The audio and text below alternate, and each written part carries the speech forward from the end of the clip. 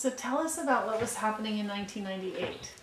So I was living in Jakarta and I was working until 1998 um, when the President Suharto bring in the army to kill um, three students from uh, the Universitas Trisakti and then the people was very mad and then they, they try to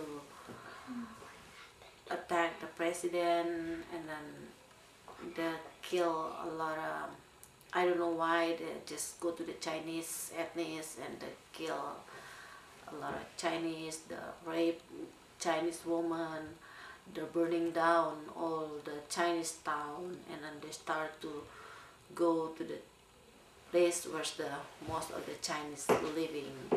So by the time we have to leave because the city was so dangerous. Who were you with, Yana?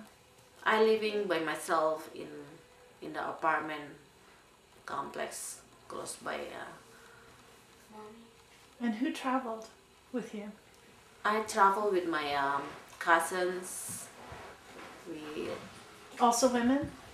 woman and man and the kids, the whole family, we travel together. Okay, and what's your ethnic background, Yana?